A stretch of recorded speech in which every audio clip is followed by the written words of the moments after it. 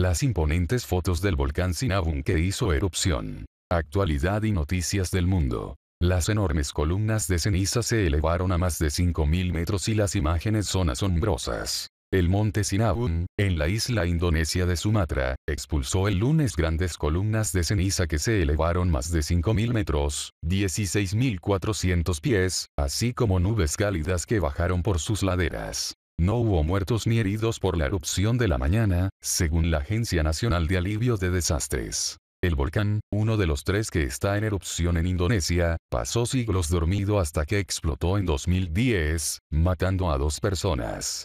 Otra erupción en 2014 mató a 16 personas, mientras que 7 fallecieron en una erupción en 2016. Las nubes de ceniza caliente recorrieron hasta 4.900 metros hacia el sur, según el portavoz de la Agencia de Emergencias Sutopopuro Onugroho. El Centro Regional de Alertas por Ceniza Volcánica en Darwin, Australia, transmitió un aviso rojo a las aerolíneas. Unas 30.000 personas se han visto obligadas a dejar sus hogares en torno a la montaña en los últimos años.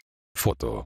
Sino el monte Sinabung es uno de los más de 120 volcanes activos en Indonesia, que es propensa a los movimientos sísmicos por su ubicación en el Anillo de Fuego del Pacífico, un arco de volcanes y fallas en torno a la cuenca del Pacífico. Actualidad y noticias del mundo.